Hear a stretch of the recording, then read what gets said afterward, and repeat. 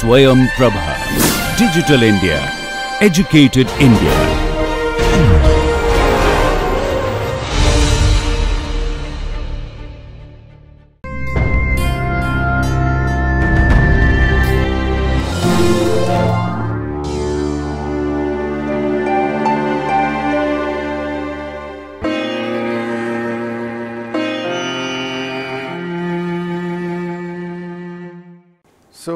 To the second lecture. Do you have any queries on what we have done till now? We are still into introduction, but if you have any questions, you should ask. Okay. So, I will ask very briefly what is structural analysis? No, don't read. You are all going to be teachers or practitioners. It's a simple question. What's your name? Like that you should answer. Seriously, what is structural analysis? It's the application of solid mechanics to to finding the response of a given structure when it is subject to a given loading.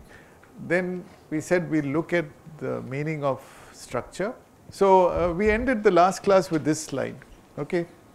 So if typically any structure is made up of elements and uh, in this course we are primarily focusing on the skeletal elements um, and uh, we went through this. There are also spatial elements. The most complex of these are the space frame element and all others are special cases of this. This has got six uh, force resultants. Now in the beginning we said that the whole idea of uh, doing structural analysis is because it's part of structural design. And uh, we want to make sure that um, any structure, either a proposed structure or an existing structure which you are investigating, must be adequately uh, strong, stiff, first stable, and the other two are add-ons. It should uh, be economical and aesthetic. So when you do design, you have to look into stresses.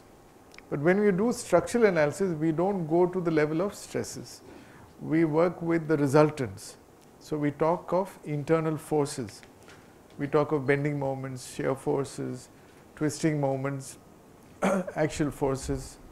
So what you see here is uh, you can combine all this and make it into a vector. You have a force vector and you have a moment vector. The force vector that you have will point in some direction.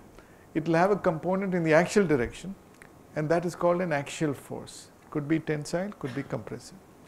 You have two components. Uh, well, for convenience, let me take the orthogonal directions, vertical and horizontal. Those are the two shear forces possible.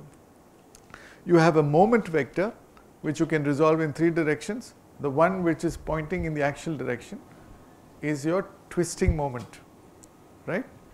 And the other two components are your bending moments. So, you have biaxial bending. So, this is as complicated as it can get.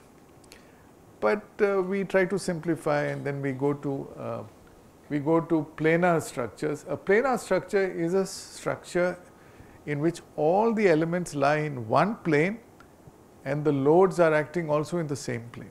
That is very important. And uh, we looked into this in the last class. Now, all these elements are connected by joints and very important to understand a joint. Okay. So, what is a joint? What is the purpose of a joint? Simple question. Any joint, elbow joint. What is a, there are two functions a joint does. What, what is that? Yeah? It transfers force. Transfer is uh, not the best word though it's very commonly used. Force transfer we say. Why is transfer not as good a word as transmit? I transfer some money to your bank account from my bank account. But then I don't have that money with me anymore, it's all yours. But if I transmit, I still have it. So that's a much more, that's what happens. Forces are transmitted, though commonly we say also transfer. So there is a, a static function, a force related function of transmitting some force. Force is a generic word, it also includes a moment across a joint. So you have two members, something is being transmitted across the joint from one member to the other member.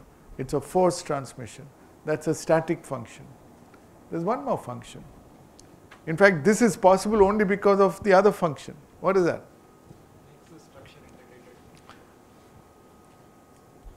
It makes a structure integrated. You're right. Otherwise, it'll all fall apart. So you need to attain integrity in a structure. How do you achieve that?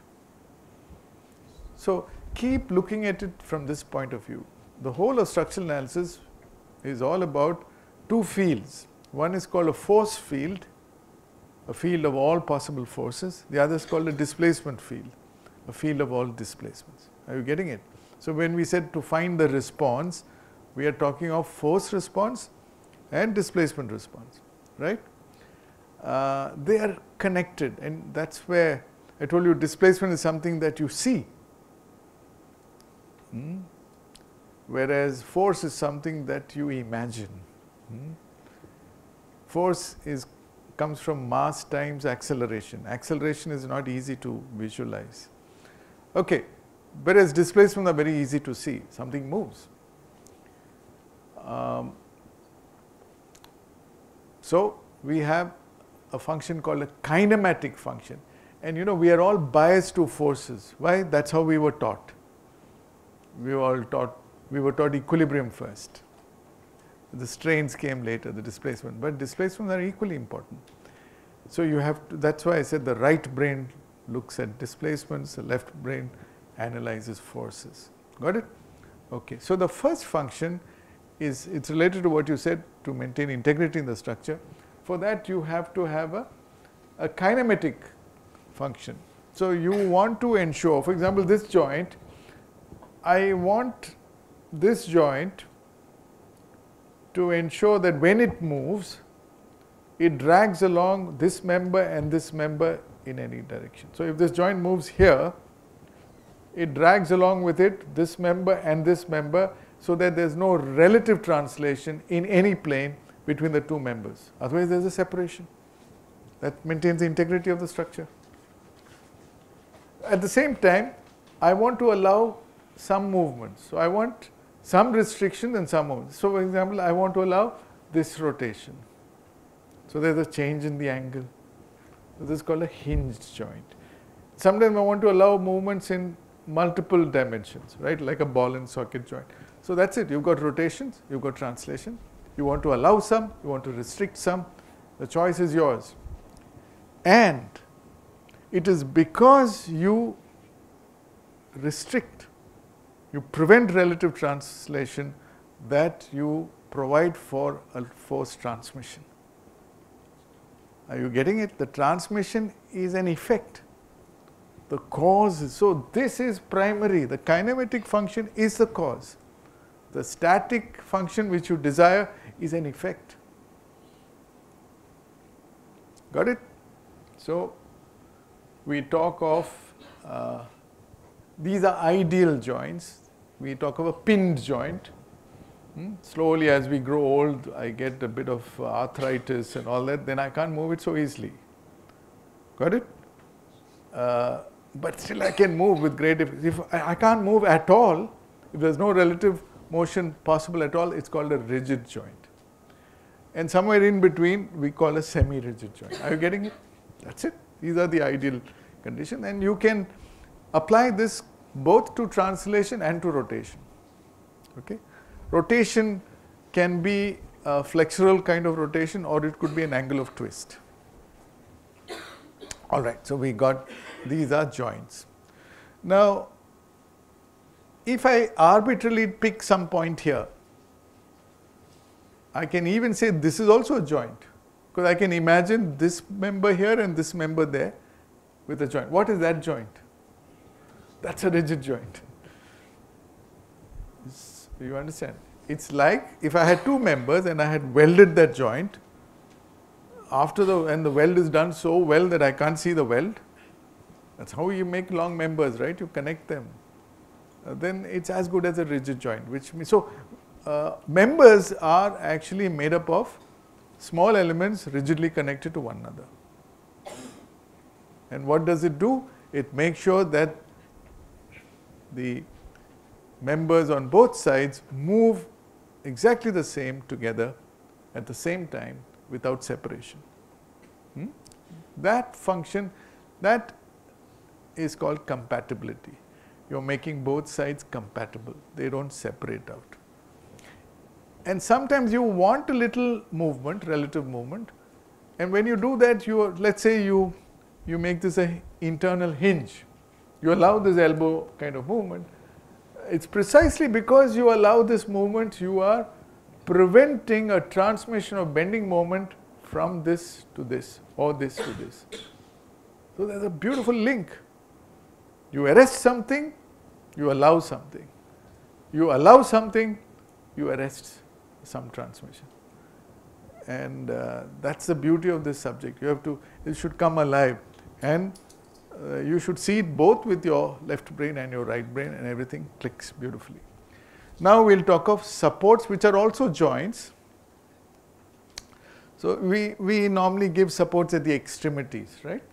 This is called a fixed support, which means basically between the support and this no relative movement, no relative translation, no relative rotation. Got it? At a support you have to, of course you can have support movements also, but typically supports don't move. Now, this is called a hinge support, you know, a knife edge fixed to a base. This is called a roller support, uh, where you uh, allow some horizontal movement. And um, because you arrest this movement in this direction, because there's a floor there, you can develop a reaction. Look at this. Because you arrest, you're, you're getting a reaction. If I give you freedom, Hmm? You won't give any reaction. But if I lock you up in your room, after three days you'll be banging the door, is it not? Because you feel you are arrested. It's always like that. It's a law of nature. But if I keep the doors open and all that, you won't bang the door, hopefully. So this, because you are allowing it to roll like this, you won't develop a horizontal reaction. Here you have arrested this movement and this movement and we put an arrow which can act either up or down or left or right because the directions can change depending on, on, uh, on uh, what kind of forces are, are acting. Here you can, you are arresting the vertical movement, so you get a vertical reaction, you are arresting the horizontal movement, you get a horizontal reaction, you are arresting the rotation. Which rotation? The relative rotation between the wall or the fixed uh, support and this element. Got it? Very simple. So you got a good idea of both the functions, the kinematic function and the static function. Now this is sometimes referred to as what? Can you tell me? It's an intermediate support. Usually supports are at the ends. But this fellow is uh, in a way coming in between and here you're enabling continuity of the member above the support. So across the joint you are ensuring that the left and right move exactly the same, but you're also saying that if this were to bend, then if I draw a tangent there, the left side and the right side will rotate exactly the same, the same theta, either clockwise or anti-clockwise. When we do bending, we'll understand that. Okay, good. What is stability? When do you say a structure is stable? Now, remember, we began by saying uh, we are talking about systems. A structure is a system, structural system. You have a political system, you have an economic system. So, in all the, you have a system of differential equations. In all these cases, stability has the same meaning. What is the meaning? psychologically said this guy is st stable. but not perhaps this guy. Under some conditions, he becomes unstable. Right? So, can you give me a lovely common definition of stability? Because we should always work from the whole to the part. Then you'll you'll love this subject even more. Yeah. What is stability?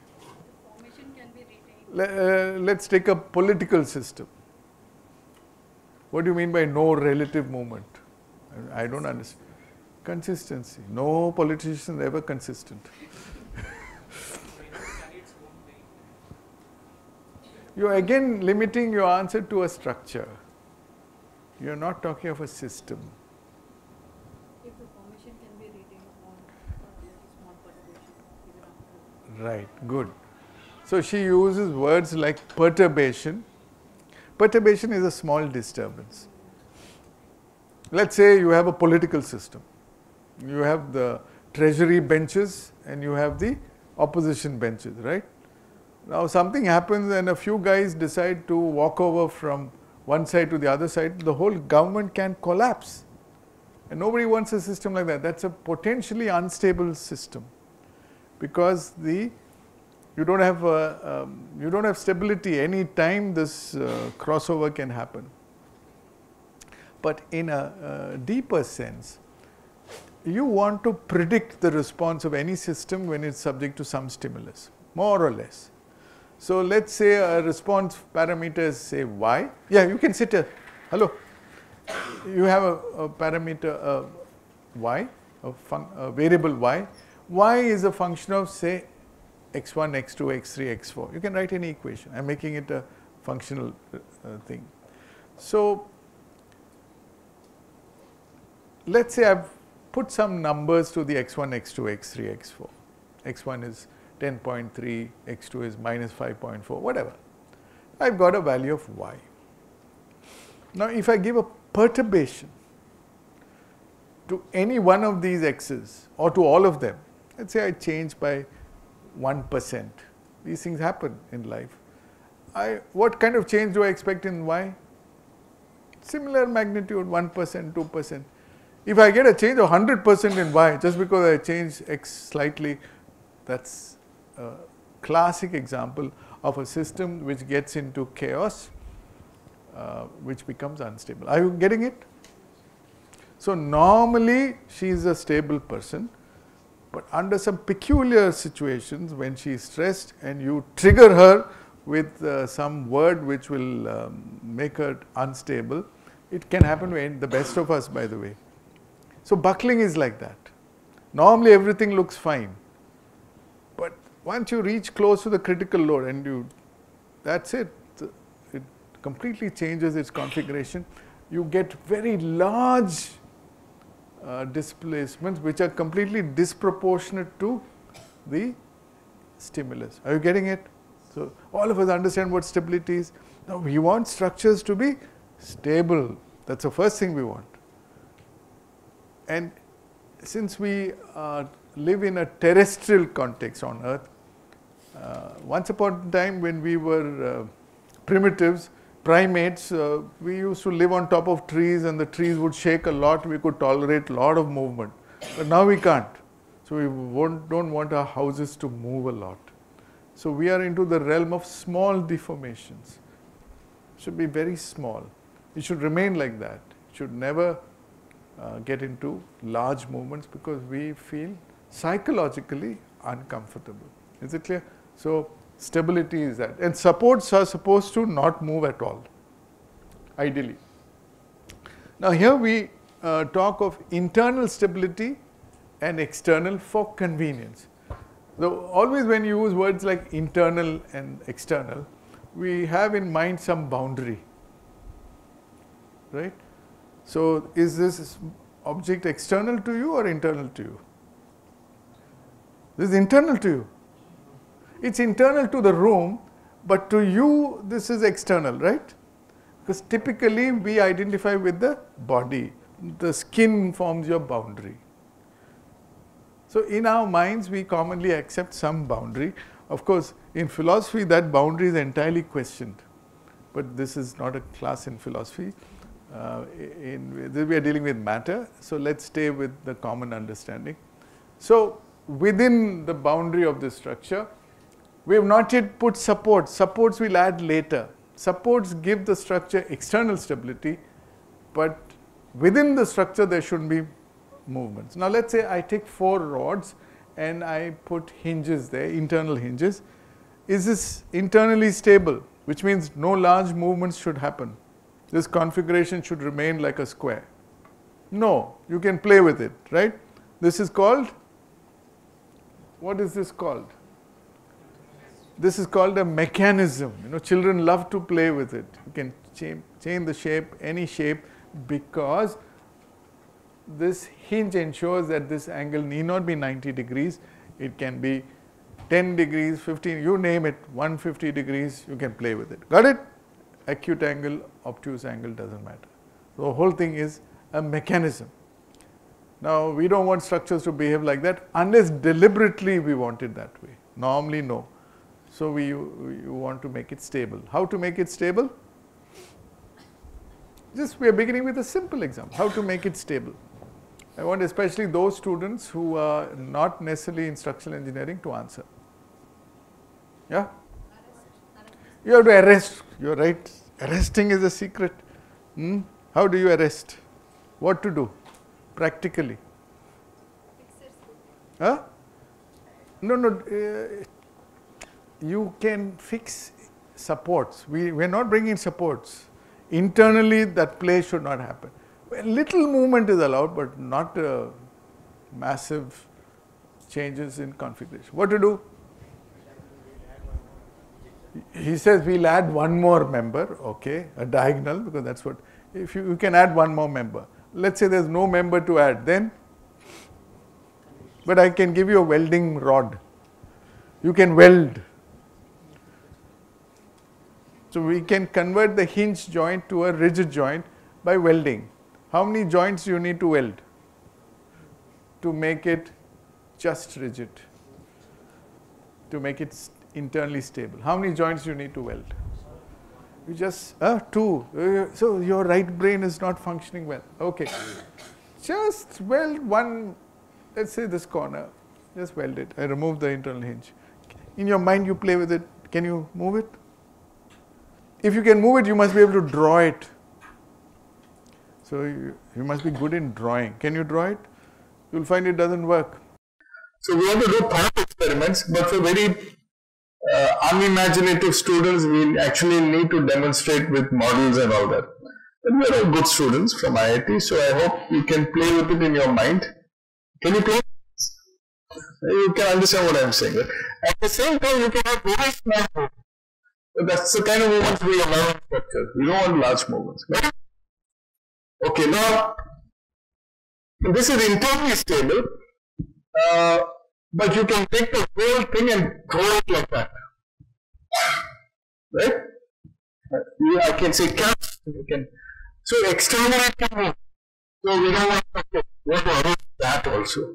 That we'll deal with later, but let's look at the other option that he said put a diagonal and it will also go into the hinge. This will also arrest the movement.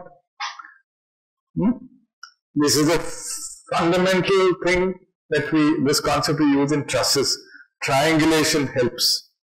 You, you, you can prevent movements or if you want you can add one more diagonal. If you add one more diagonal, uh, you are making it, you can to say, uh, no, I won't let it. So here, if you drag around, little movement is possible. Here, free play is possible. Here, little movement is possible, little movement. Here you are making it stiffer, so even that movement is reduced. But in the process, something is happening to the structure. That structure is becoming statically indeterminate. You see, I want you to first see the, the physics, the geometry of it, the displacement field, and then you can see that it is linked to the force field. So we'll come to static later. Let's be strong in geometry. Okay, you're getting it? So let's use words like this is a mechanism, this is just rigid, this is just rigid, this is over rigid to one degree. And you can achieve over rigidity by say, let's see, I, uh, let's say one round of four joints. I mean all four rigid joints. It's enough if I had done only for one. So I have made it over rigid to a degree of 3. That incidentally is your degree of internal static indeterminacy, a box. Okay.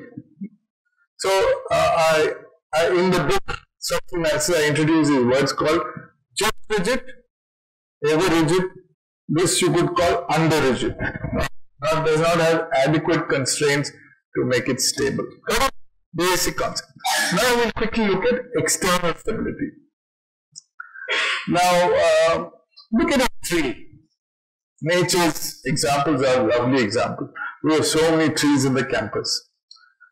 A tree is supposedly fixed at the base. Now this campus is full of monkeys, so they apply a lot of forces in all directions that you can think of. So the tree uh, cannot move vertically. So the weight of the tree and the weight of the monkeys on the tree get an upward reaction because this movement is arrested. Correct? The tree cannot transmit horizontally in any direction, but you take two orthogonal, it can't move this way, it can't move that way, normally. Unless you have a flood, then you know the soil is loose and then it can move, but normally no. So it can take a horizontal reaction. Monkeys are people pulling horizontally this way and this way. So three translations arrested, three acts, three forces, three reactions fx, fy, fz are possible because we arrest delta x, delta y, delta z. Now we'll talk of rotations. This is like a vertical cantilever. So if I have a branch there and the monkey's weight is pulling it down, this will tend to move like that. But the slope here is going to be zero. Draw a tangent, so it's a vertical cantilever. So this movement is arrested. Similarly, this movement is arrested. Right? And finally, uh, let's say there's a heavy wind and it's uh, you know it's not symmetric and it's kind of swaying on one side. It will rotate but this angle of twist is also arrested. So if you want complete stability, you need 6 degrees of freedom to be arrested in a spatial structure. Is it clear? 6. You get more than 6, you're making it over rigid externally. How much more? Well, now, uh, why does the table have 4 legs? Normal tables are 4 legs. What's the minimum number you need to make it stable? 3. Now why don't give 3 legs? Because for some reason, in our minds, we, we someone imagined a table to be something rectangular. God knows why. If you give a circular table, perfectly you could manage with three. If you give three, it looks a little odd aesthetically, so we give four legs. Now you know you have to get those uh, steel tables and coins. You know that it actually works only on three. The fourth one, you don't touch the floor, and you can play with it in The first thing you do when you go to the hospital, take some carpet and put it underneath one of the. Yes or no? I know there are many reasons sometimes the legs are perfectly all of the same height, but the floor is sagging because of structural behavior. And uh, you know, uh, near the wall, it's not going to move but closer to this, so you want to wedge that movement. I'm getting it? But it actually can stand just on three. Fourth is, so we say it is redundant. The fourth leg is redundant. Another word for redundant is, it is extra. It is superfluous for the absolute minimum needed. But if you give it more, it gives you some additional uh, benefits, which we'll see. It makes it stiffer and more difficult to calculate. Uh, so that's the redundancy. That's a degree of static indeterminacy one you've got. Are you getting it? So there's a minimum and there's something extra. If you have a planar structure, like a, a, beam, you know, simply supported beam is perfectly uh, just rigid, you are resting 3 more. So 6 reduces to 3. If I have a beam, that's a I'm resting 3 degrees of freedom. One rotation, two translation, good enough. Uh, if I give a prop here, it's an extra. It's redundant. It's not required. Getting it? So that's how we arrive at external stability. And the standard picture we put, there's a dark line here showing it's a fixed support. We, because we have 3 degrees of freedom, we have 3 reactions possible. Whereas 2 degrees of freedom, 2 reactions possible. Whereas 1 degree of freedom, 1 reaction possible, but no reaction in this direction. You have, this is called a guided fixed support, okay, which we'll encounter later. Here we allow free movement. This is sometimes called a sticky roller. The reason is, uh, we imagine this roller to be sticking to the floor uh, because only if it sticks it can take an upward reaction in our minds. We should understand, otherwise it will jump off. We don't want that. So here you are releasing this movement, so no vertical reaction, but you are resisting this translation and this rotation. So there is a moment and horizontal reaction possible. But if you want a general thing, and uh, in structural engineering, uh, the, the, the people who want one symbol to take care of all possibilities, you put spring supports. They call elastic supports. So, uh, for example, for a planar system, if I give this, it covers all these cases. I just have to put values of either kx, this translation spring, to have values of 0 or infinity. If I put 0, that means it's not stiff at all, it's like a free end. If I put infinity, this movement is, trans is arrested. Similarly, I can have vertical spring and I can have a rotational spring, like in a door closer. Got it? So this, uh, and I could take values in between. So these are called elastic uh, support reactions. Okay, fine. Some examples of, this is a refresher course, okay, I'm not going through the whole thing, just giving you a taste for you to, uh, to enjoy and to see how simple the whole subject is. Now this, uh, we said here in the previous class that you need minimum three supports, but you have to provide them at the right places. Now here I've given a, a beam, it's a continuous beam, but I gave three roller supports. That won't be good, right? Why? Can it take loads? Yes, you you're traveling in trains, no? How does the train sit at the platform? It's taking loads but then you don't want to sit there all the time. You won't go to uh, wherever you want to go. You want it to roll, right? So you want to move, but it must carry with. So equilibrium is possible even in the displaced configuration. I want you to get that. So if I apply a load here, I'll get some reactions here, and this one will be reversed. And this will be the likely deflected shape.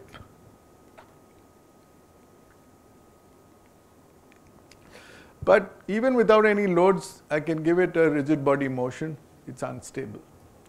You, if you say it's something unstable, you must be able to visualize it and draw it in the current. And it is unstable because I can give large movements completely uh, equal to the size of the structure itself. And totally not acceptable for stability. Got it? Rigid body translation under horizontal perturbation. I just have to blow it if it's a frictionless surface, it will fly. If I give three reactions here, but they're all pointed in the same direction, so the lines of action of the reactions are concurrent, they meet at a point, then you're in trouble. First, can you draw the unstable position? You will find that unless for example, if I take moments about this point O, these reactions will not have any moment, but there will be an overturning moment P into this distance, which is um, not equilibrated, so it will rotate.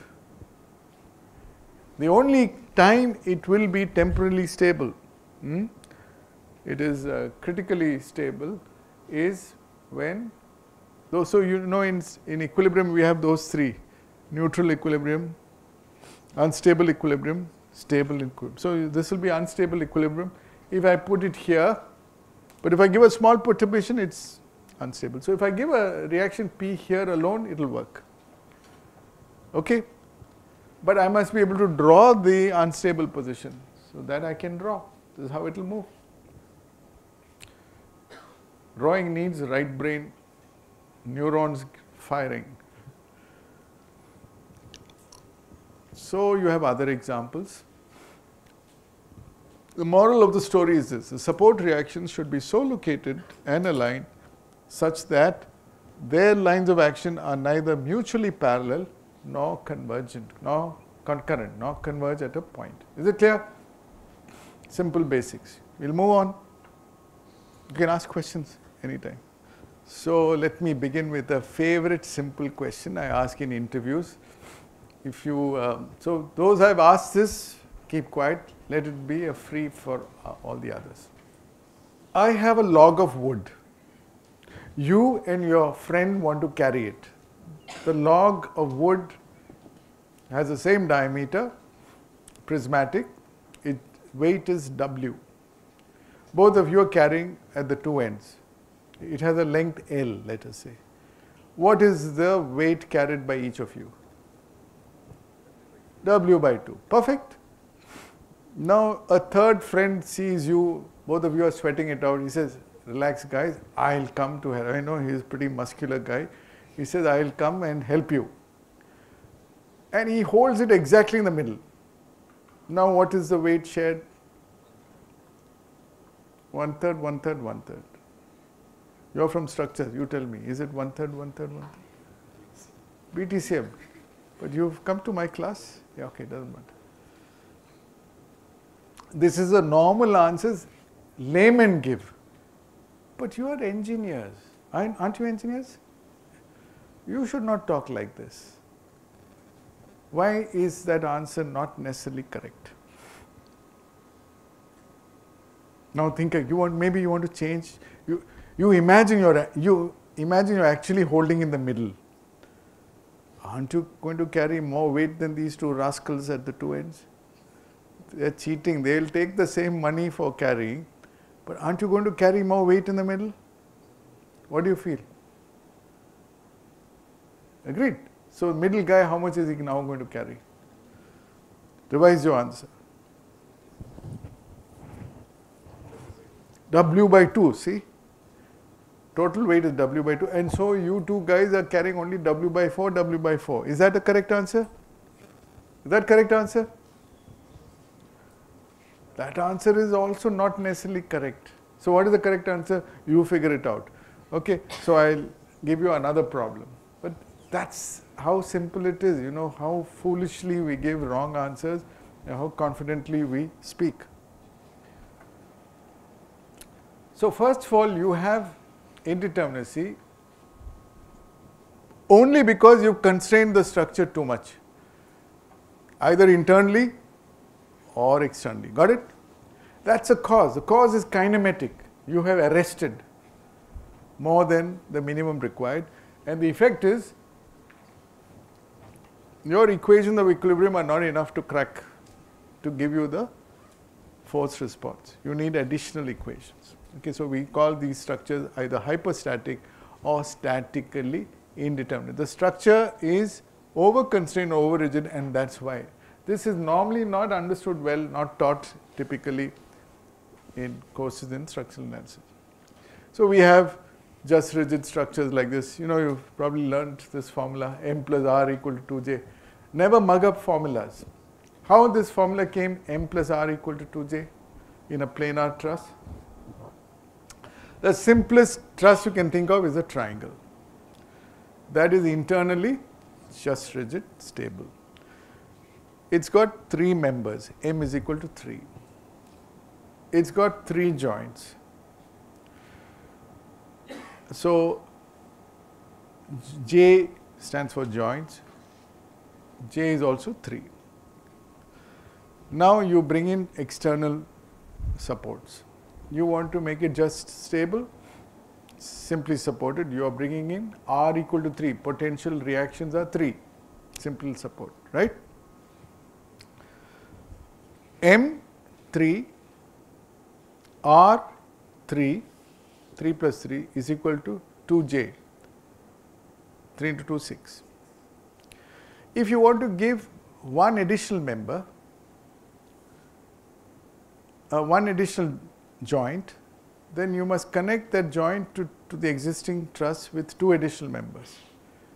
And if you work out the formula, that's how you can prove m plus r is equal to 2j. Got it for a simple truss.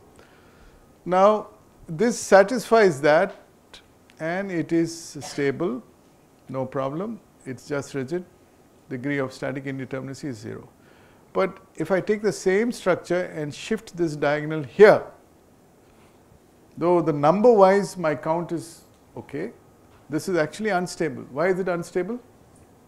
That portion is not triangulated, right? So, what will happen? Locally, that portion is unstable. And you can show the instability by actually demonstrating it. It will move. More important, when we say it is unstable, it behaves like a mechanism, it can't resist any load under these conditions. If I apply a load here, if I apply a load here, this load reaches the reactions through the structure. The forces are transmitted across joints and reaches there. Here, it can't because we make an assumption that these members are so flexible that they can resist only axial forces. They can't resist any shear forces. So, if you cut a section here, the only way it can resist this is through a shear force and a moment which is not possible in a axial member. So, it is unstable. Okay, but if I put two diagonals here, it is kind of over rigid and the degree of over rigidity, this was good enough, but I put two more, is clearly 2 and you can use this formula to do it. I am not getting into those numbers, I am just refreshing your memory. Cantilever is just rigid. If I put an internal hinge, then it's unstable because locally this, this part is okay, but this part will, will move. Propped cantilever, this was good enough, but you added one more prop, vertical support, so the degree of static indeterminacy is 1. The reason is you made it over rigid to the degree 1. Cause is over rigidity, effect is static indeterminacy. Are you getting it? Cause and effect. If you do this, then this you are eliminating by introducing a hinge there which gives you an additional equilibrium equation because it says no bending moment can be transmitted across that joint. And if there is no moment here, then you are saying the bending moment on both sides is 0. You got an extra equation. Called an equation of condition. So, cause, effect. Uh, if you do this, instead of roller this, strictly it's 2. If you fix this, it's 3. This is a simply support portal frame. Remember in the last class we demonstrated that. We had fun drawing those pictures. This is just rigid. This is also just rigid. I made both hinge support, not roller. But then the it would without this internal joint, the degree of static indeterminacy would have been 1. But I made up for it by giving what is called a moment release, an internal hinge. Makes sense? Now, if I take this frame and put an internal hinge there, that's unstable.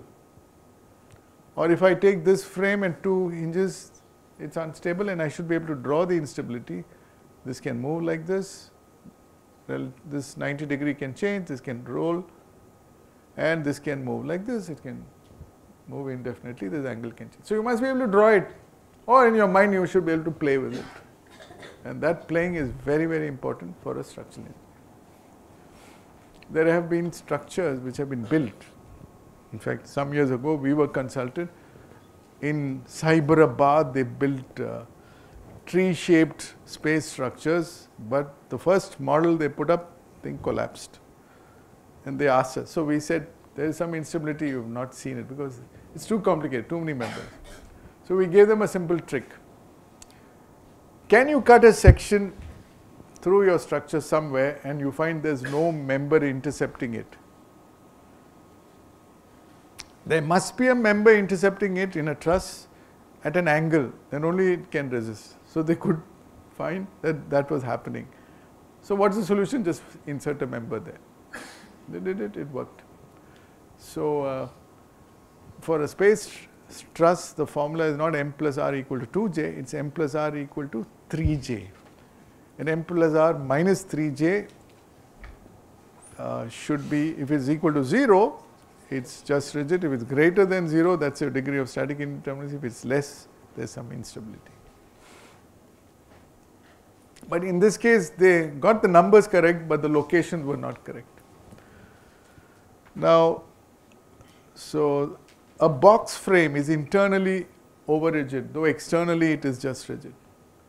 So if I cut a section here, then I'm bringing freedom, right? But not otherwise. All right. So before we go back to that question of uh, three people holding a, a, a log of wood, let's look at this structure. It looks pretty complicated, no? If your right brain is not working, this is a difficult structure to analyze. It can be asked in your gate exam. Can you quickly tell me what the reaction? What is this reaction? Anybody? Huh? This reaction is P2? This is P2 by 2, guaranteed? Can you prove it? What is this reaction? Vertical reaction? P1 plus P2 by 2. On now, intuitively you said something. Now the, in the Supreme Court they'll ask you, prove it. Can you prove it? By the way, your answers are correct. Intuition is correct. What is the bending moment here? Or the fixed end moment?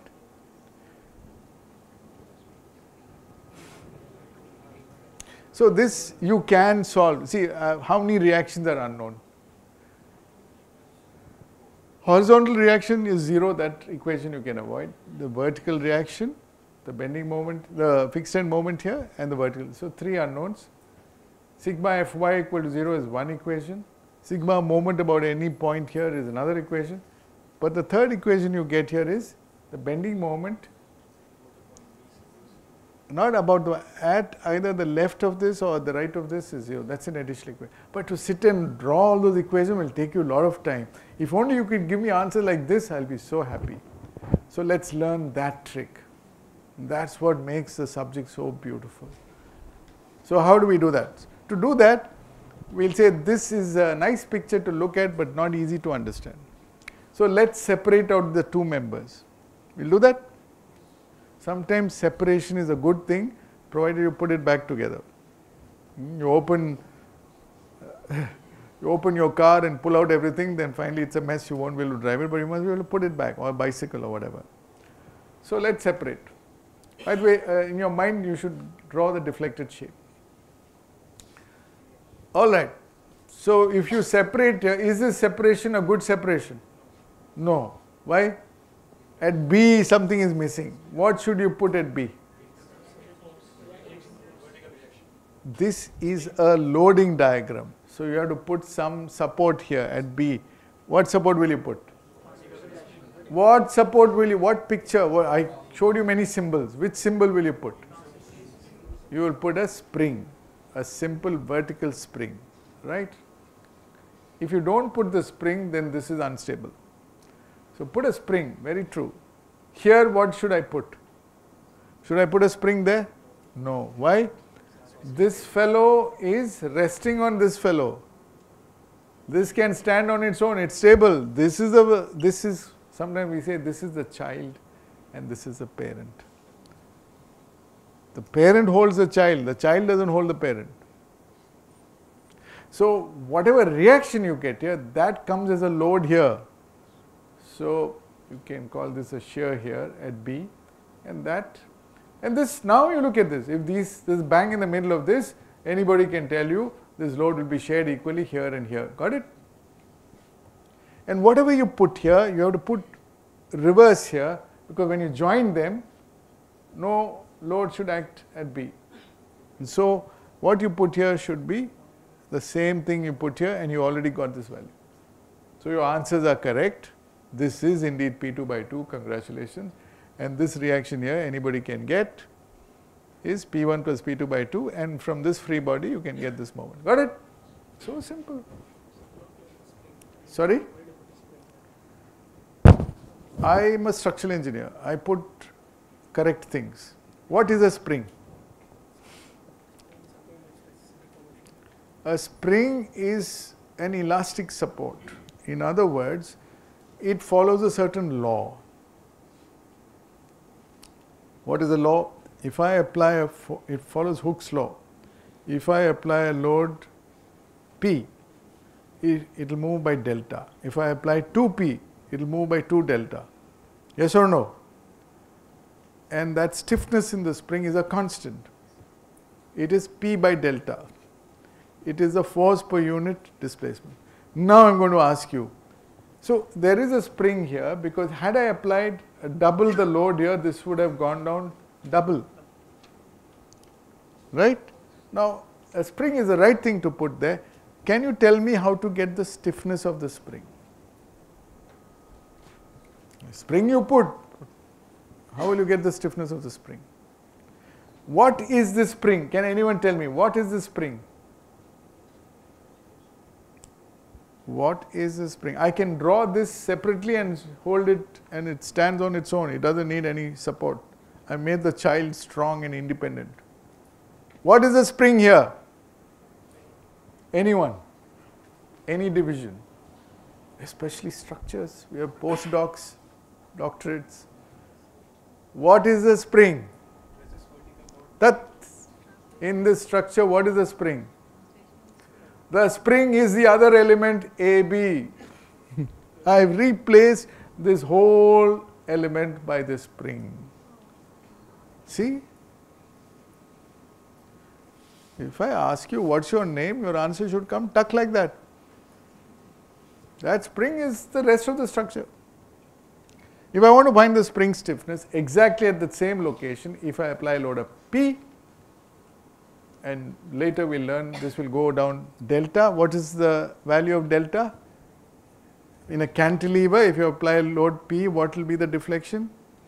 PL cube by 3. You know all this. So what is K, the stiffness of the spring? Tell me what is it? P by delta is how much?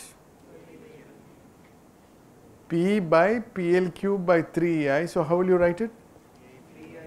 3i by L cube C. Ah, now you learn something.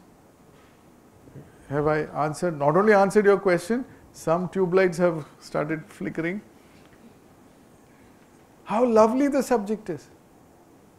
And how free you are now. My God, I had to solve so many equations and all that. I didn't even understand what was going on. I didn't even know what. This is child's play, man. So easy, so beautiful. Right? And now you can draw the deflected shape. And okay, it's important. Okay, nice to draw. How will you construct this? How will you make that hinge? It's also called an articulation. Bridges are made like this. So you want to make sure that the joint that you provide here will be such that force is transmitted from this member to this and not the reverse way.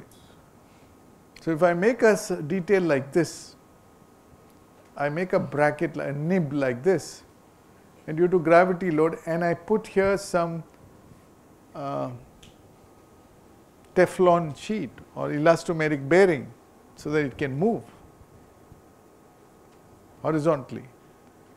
And that will be itself be another spring. It's like putting rollers here. Then if I put this load here, clearly this is going to sit on this and this, if you take this, this can take that load. It's like that load coming bang here at B. Are you able to think of this? That's how a practicing, you, a designer should think of how to do it in practice. But once you plastered everything, you won't see anything. You won't even know there's a hinge there. That's the beauty of, of uh, doing good construction. You don't even know, you can't see the hinge. Are you getting it? So here you have no, if I replace this with this picture, it would have been easier. But even better, if I had instead of giving you this problem, I had given it like this child's play. All of you would have given me the answers just like that.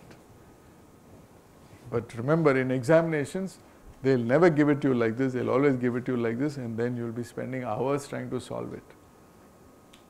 If they give you like this, then this is easy to understand.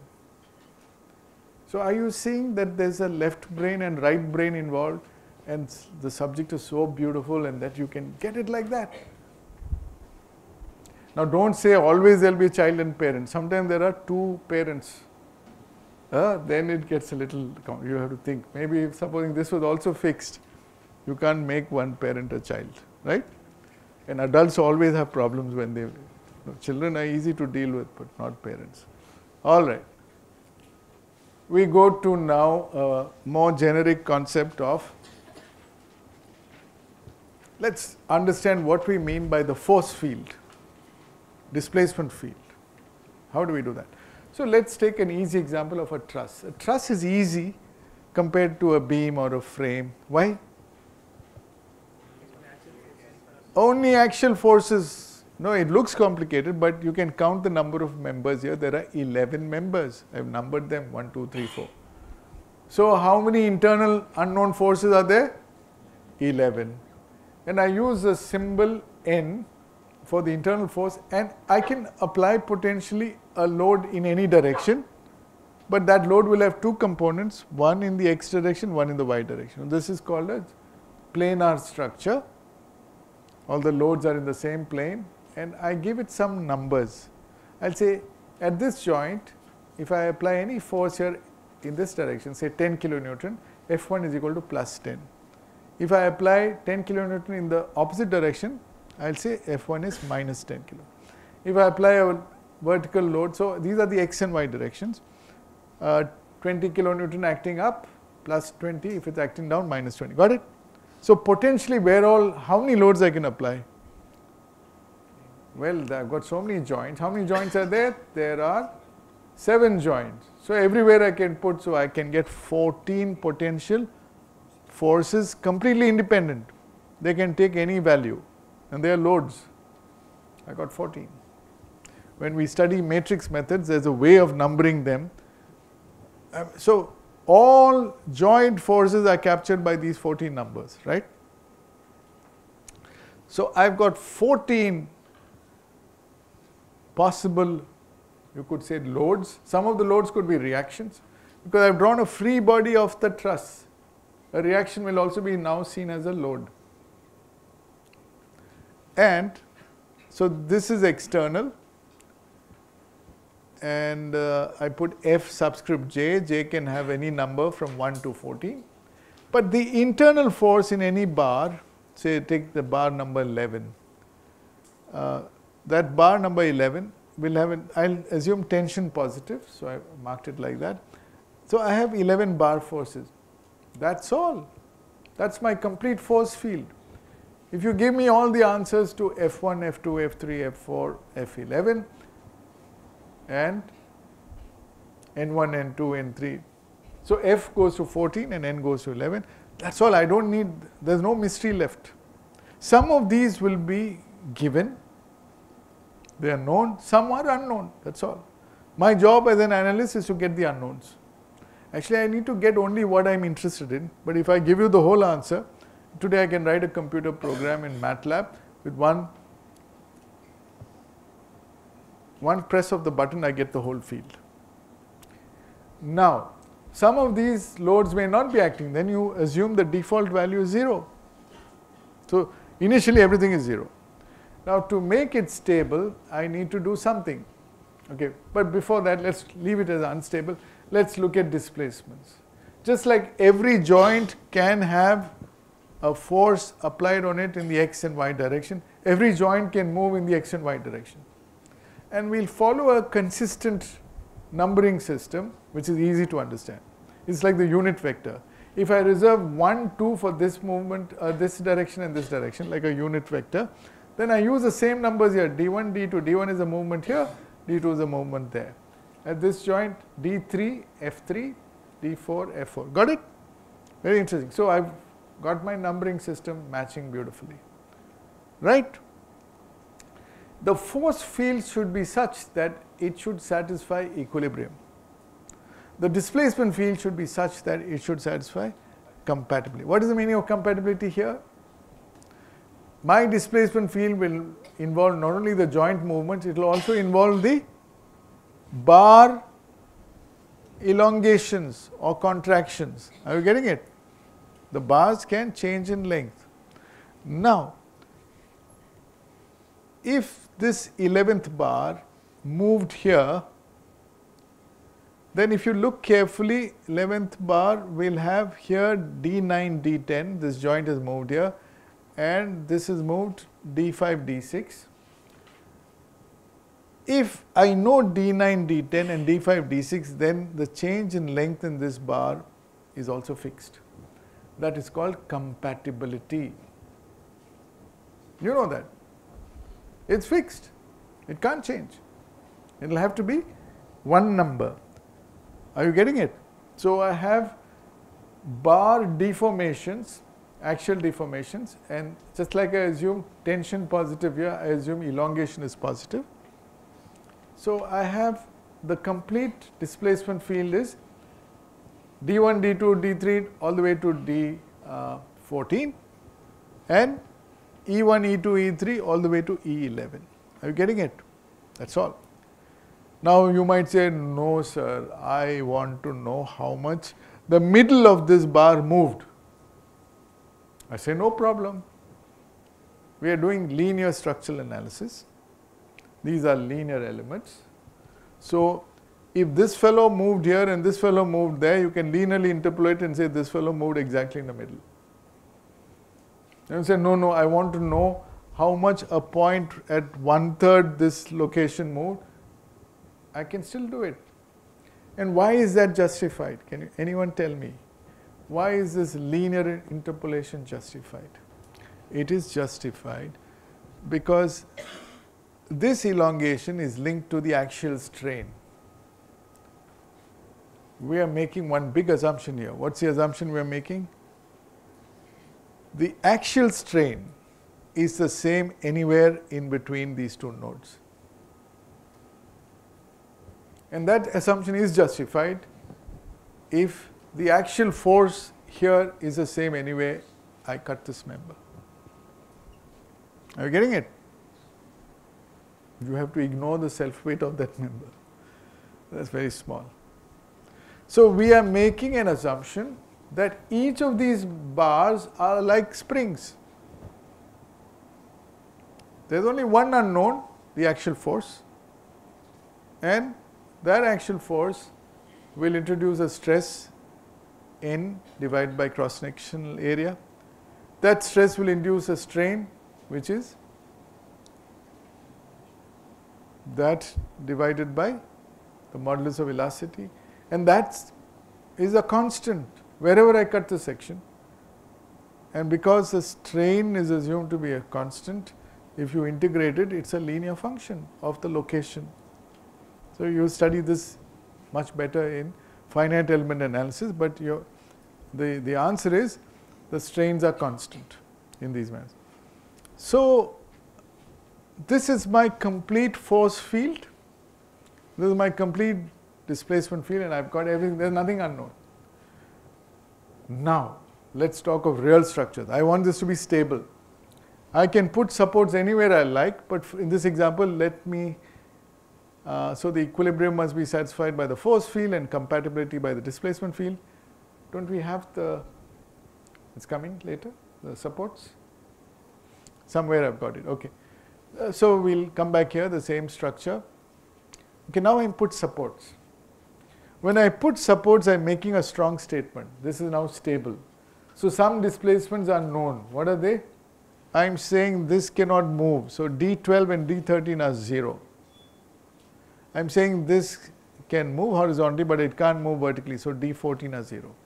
I brought in three constraints. And because I brought in those three constraints, I'm going to get three reactions in general. Are you getting it? Now there is something called kinematic indeterminacy, which you will need in when you do the stiffness method, part 5 in the book. So let's get a freedom, let's get a good understanding of that.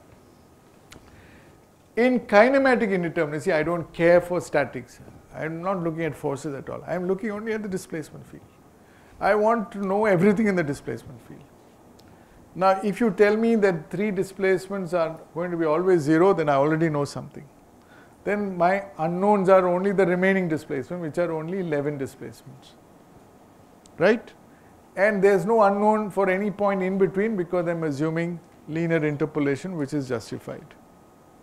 Right? When I make that argument, then these are the only unknowns needed to understand the complete displacement field. And that is called the degree of kinematic indeterminacy. If you want a definition, so in this structure, very interesting, the static indeterminacy is 0 because it is statically determinate, it's just rigid. But the kinematic indeterminacy is huge, it's 11. So a definition would be this, the degree of kinematic indeterminacy may be defined as the total number of degrees of freedom, independent displacement coordinates at the various joints in a skeletal structure.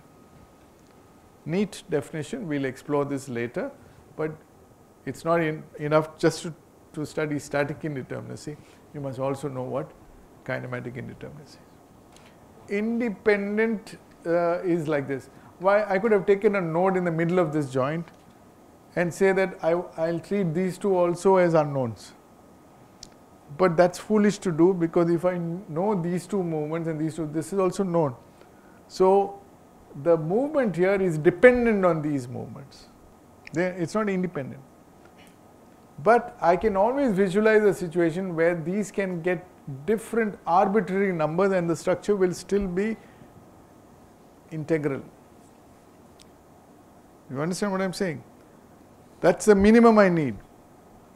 Absolute minimum and I can give arbitrarily any. See, you can imagine, in my mind, I give arbitrarily values of d1 to d11.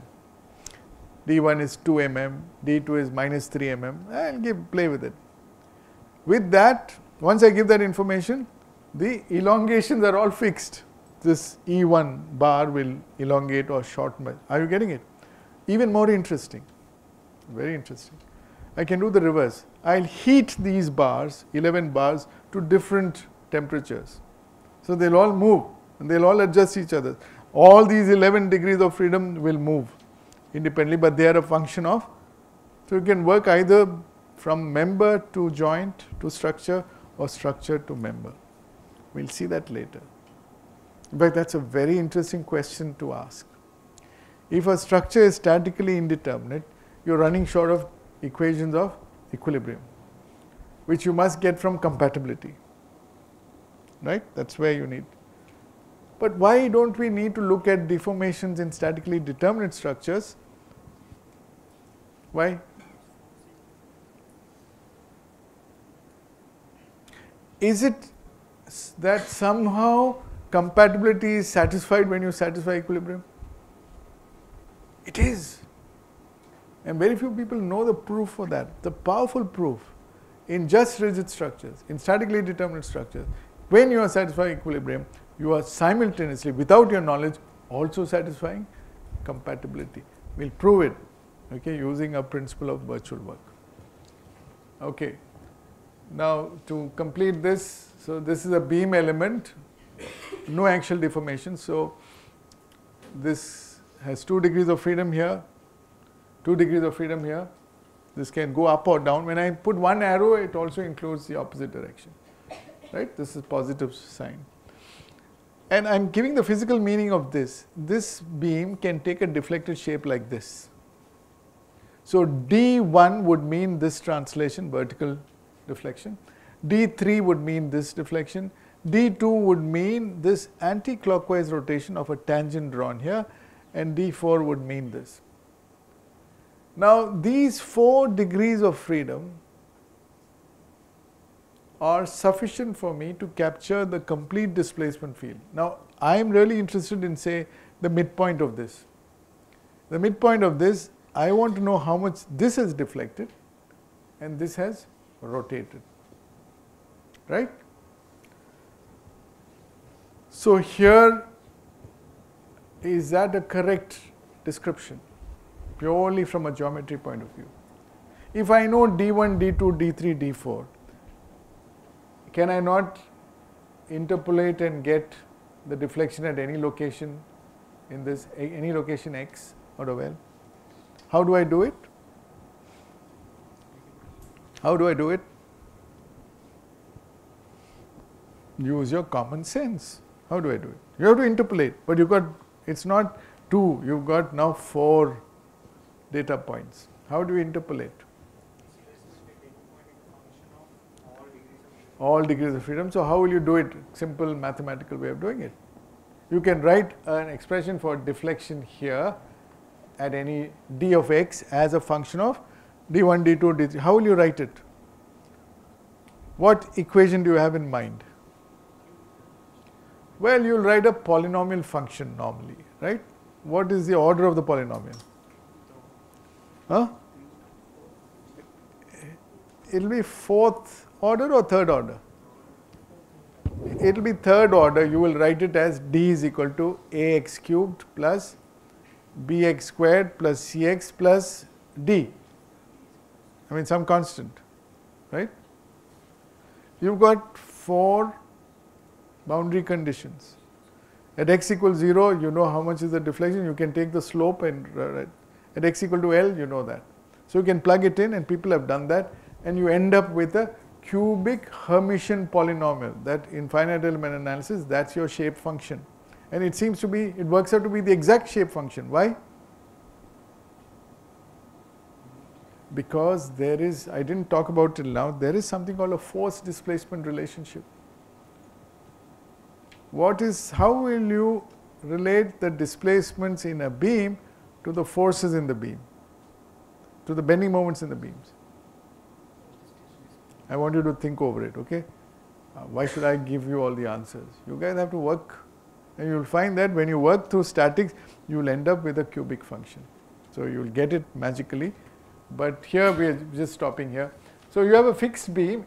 If you're interested only at the two ends a fixed beam is kinematically determinate because all the degrees of freedom are arrested at the joints, but at the same time it's statically indeterminate. Very interesting. Cantilever, this can move up and down. So this is got a kinematic indeterminacy of 2. This has got an indeterminacy of 4. A plane frame element is different from a beam element. Now you're allowing movements and axial movements at A and B, right? Right? So you've got 6 degrees of freedom. If you take a portal frame with fixed base here, this can't move, this can't move. 3 degrees of freedom here, 3 degrees of freedom, 6 degrees of freedom. But we generally don't take so many degrees of freedom. We make a simplification. What's the simplification we make? We say axial deformations are negligible. It's a valid assumption to make normally. And so how much will this reduce to? This will reduce to 3 this rotation is there, this rotation is there, these two translations are there. But if you say actually this can't change its length, then these two in the horizontal direction will be the same. So you don't, now you understand they are not linearly independent, they are linearly completely dependent and fully correlated. And this translation degree of freedom we call the sway degree of freedom. So see this looks much more simple compared to this. Agreed? What about this? A box frame. A box frame, you'll find this can rotate, this can rotate, this can rotate, this can rotate, but the left and the right will move by one sway degree of freedom. Right? This, you should not put a degree of freedom here because if this can't change in length, then this is this can't move horizontally. And that's an assumption you're making. Okay?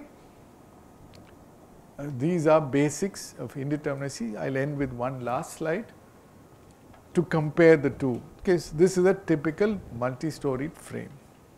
Simple question.